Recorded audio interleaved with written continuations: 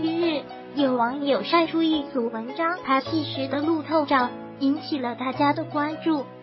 可能由于新戏角色的需要，文章剃了个光头，一时间让人看着很不习惯。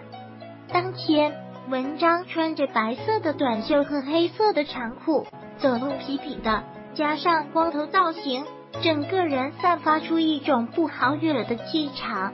他后面还跟着一群人，真有种黑老大的感觉。不知道是出于剧情需要还是个人情绪，文章朝着围观的路人狠狠的砸了个手机过去。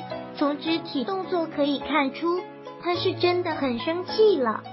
网友看到动图后表示被文章的暴脾气吓到。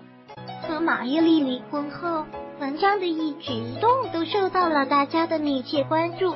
还被网友多次拍到独自一人现身的画面，孤独又落寞。离婚后的文章脾气收敛了很多，整个人也低调了很多。